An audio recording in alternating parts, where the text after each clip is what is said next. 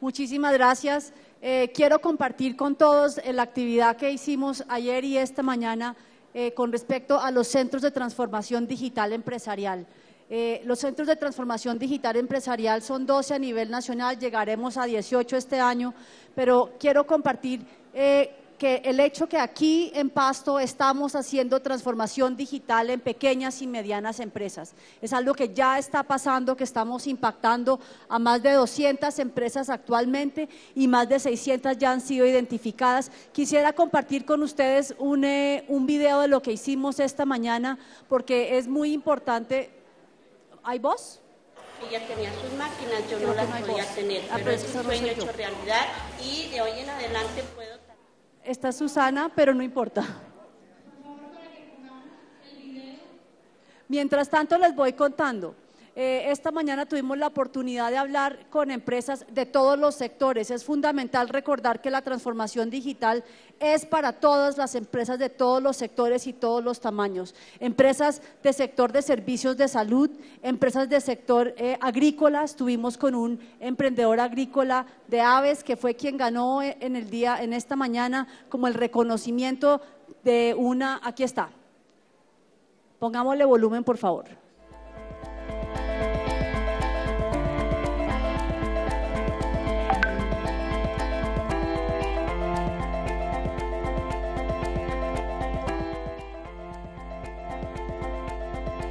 Estar con todos los empresarios aquí de la región. Es muy importante recordar, reitero, que estos son esfuerzos que hacen desde la región.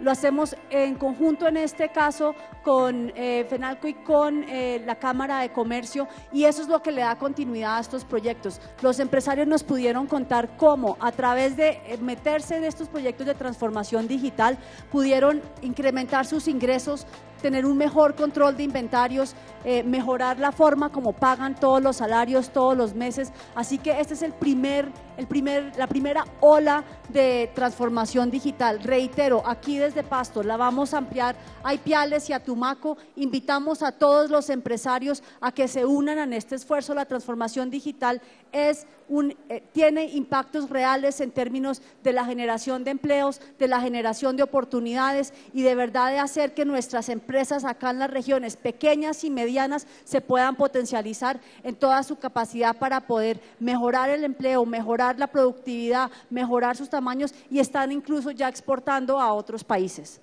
Eh, quisiera de una vez, sí, de una vez hablar sobre otros temas que son fundamentales para la región. El primero es que quiero compartir con ustedes el hecho que en las mesas de trabajo surgió la importancia de la conectividad. Esta mañana también la vimos con los empresarios, donde nos dicen, mire, es muy difícil si no tenemos conectividad poder aprovechar toda esta capacidad que tendría el Internet para nosotros. En eso seguimos empeñados eh, en asegurarnos que la mayor cantidad de colombianos puedan estar eh, conectados. Estamos ya en la última eh, fase, aspiraría, del proyecto de ley de modernización del sector. Es un proyecto de ley que nos permitirá, permitirá conectar a millones de colombianos más, pero no estamos quietos. Ya el presidente ha anunciado que vamos a hacer esa asignación de las autopistas de conectividad que tiene el país, que hoy están quietas, las bandas de 700 y de 1900. Eso se hará antes de finalizar este año, pero reitero, con el nuevo marco que nos permite eh, la ley de modernización del sector TIC, vamos a poder conectar millones de colombianos más que sin eh, el, marco que nos da la ley de modernización. Así que hoy aquí vimos realmente las necesidades que tenemos de estar conectados. El que uno se monta y sale de la cabecera municipal, maneja 10, 15 minutos y en algunos casos incluso menos y pierde la conectividad. Colombia está en un momento fundamental, un momento de eh, cambio en términos de su conectividad y con el proyecto de ley podemos, reitero, conectar a millones de colombianos eh, más eh, que los que tenemos conectados hoy y el año entrante empieza este gran impulso de conectividad. Pero eso no es todo lo que estamos haciendo, estamos también impulsando la conectividad de Internet fijo y aquí en Nariño vamos a tener resultados en los próximos meses. El primer semestre quisiera anunciar que tenemos 6.900 accesos eh, distribuidos en los municipios de Tumaco, Samaniego, Barbacoas, eh, Sandoná, El Charco, La Tola, Cumbal y Magüí.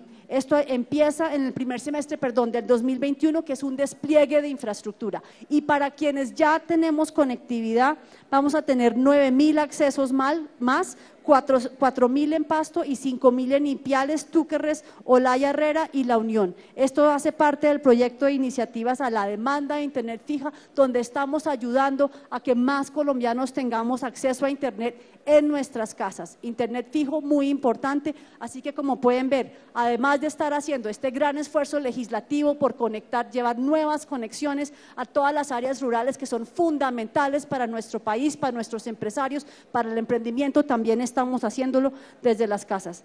Quiero también compartir con ustedes que tenemos em, eh, una necesidad que surgió en las mesas también fue el tema de, eh, habilidades digitales. Comparto con ustedes que hoy hay de manera gratuita varios, eh, a través de la plataforma del Ministerio, siete cursos que están dedicados a generar habilidades digitales. Invitamos a todos los empresarios y los ciudadanos que entren, son cursos que son gratuitos, que son fundamentales y que generan em, mucho conocimiento y mucha capacidad de movimiento en términos de lo que son em, las habilidades digitales en nuestro país. Em, adicionalmente vamos a tener un taller de emprendimiento digital. Este taller será, tendrá, perdón, será en el segundo semestre de este año y habrá una convocatoria de, equipos de emprendedores para los interesados que quieran recibir em, eh, entrenamiento en este, en este sentido. Hay 377 cupos presenciales durante el segundo semestre de este año para estos cursos. Nuevamente los invitamos por favor a, eh, em, postularse para estos cupos que están abiertos aquí en la región. Em, y finalmente quisiera hablar sobre TDT. TDT eh, es un, em, antes del 30 de junio de este año entrarán en operación las estaciones de Taminango y Samaniego. Esto va a beneficiar a casi 30 mil hogares eh, en la región, en los municipios de Taminango, Samaniego, Chachagüí, Leiva y San Lorenzo. Seguimos con el despliegue de TDT en el país, de televisión a todos los hogares, así que ahí nuevamente es una gran noticia.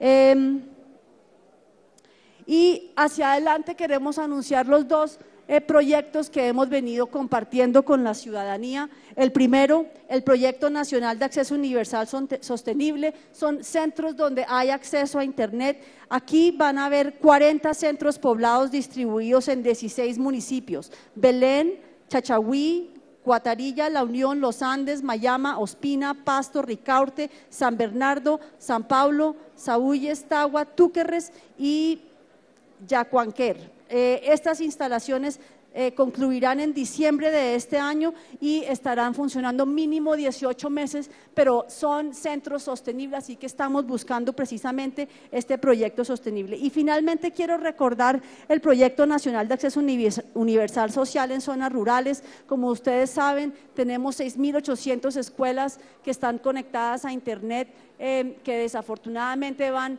a tener un quiebre en este momento, pero estamos montando un proyecto que nos va a llevar de 6.800 a casi 10.000 y no únicamente eso, sino que tendrán una duración de 10 años. Es decir, estamos dejando soluciones sostenibles que van más allá del gobierno del presidente Duque, donde las escuelas están conectadas de una manera continua y permanente durante por lo menos 10 años. Son eh, eh, esfuerzos estratégicos donde claramente la educación juega una eh, función central y que hacemos de la mano con el Ministerio de Educación. Muchas gracias.